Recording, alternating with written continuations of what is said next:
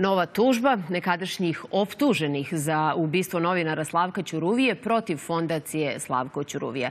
Naime, posle tužbe bivšeg načelnika Beogradskog centra resora državne bezbednosti Milana Radonjića, fondaciju je sada tužio i Milan Kurak, koji je tokom suđenja optuženima sve vreme bio u bekstvu.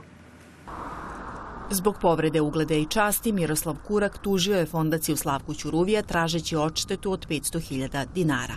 Kao i u slučaju Milana Radonjića, tužba se odnosi na saopštenje u kome je porodica ubijenog novinara rekla da se ne slaže da se Kurak i Radonjić oslobode krivice.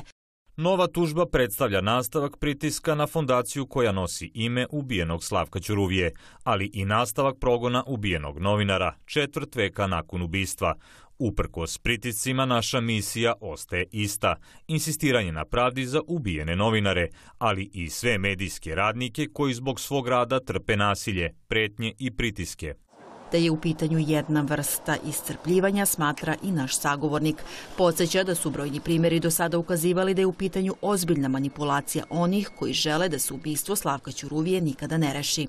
Možemo očekivati, na primjer, sljedeći scenario da Slavka Ćuruvije fondacija izgubi nekoliko ovakvih postupaka i da e, osnivači nemaju novca da plate i da se onda u zatvoru e, nađe Jelena Ćuruvija, Slavkova čerka i svi ostali iz fondacije Slavko Ćurovije da se ova fondacija zatvori. I to bi zaista bio ovako jedna ciničan, ne samo ciničan, nego i tragičan kraj jedne priče koji koja čak ima neku određenu logiku. Logika se uočava u toliko što smo nedavno imali još jedan primjer gdje je napad na novinara ostao nekažnjen i bez indicija da će se ikada rešiti. Pre neki dan smo imali situaciju u kojoj je naš kolega udaren pesnicom. Onda je e, napadač otišao u redakciju i hitno prvi pozvao e, policiju i rekao da je on udaren. I imamo sada situaciju da odjednom nema dokaza i odjednom će se sada voditi verovatno i nekakav postupak koji će e, onoga koje je žrtva pretvoriti u počinjenje počinioca, odnosno napadača. Dakle, imamo na sceni jednu vrlo perverznu situaciju.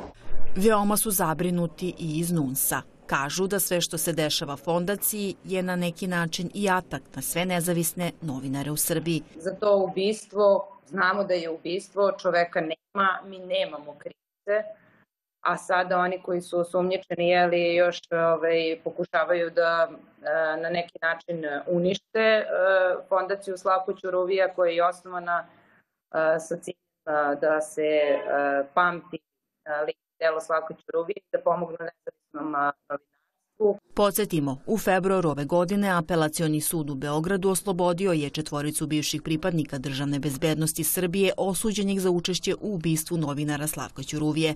Ta odluka šokirala je javnost, a iz fondacije presudu su opisali kao duboko uznemirujuću. Očekujem da se sa ovim suđenjem otvori i pitanje odgovornosti državne bezbednosti. Dakle, e, državna bezbednost imala 28 agenata e, e, u tom kraju. Dakle, oni su jedini bili tu. Kako to da oni nisu otkrili odmah ili u nekom narednom periodu bilo šta o ovom ubistvu? I mislim da će to biti zanimljiva priča. Naravno, treba, treba i otvarati i, i sa svim druge priče. I ovdje profesija mora da bude solidarna uz ne samo Slavko Ćuruje fondaciju, nego sve kolege koje se na sličan način nalaze u sličnim problemima, jer kreću slep tužbe da e, e, funkcionišu kao novi oblik represije, a ovo se može veoma brzo moći da čitamo i kao slep tužbe. Anita Ikanović, Televizija Nova. Osnivač Wikileaksa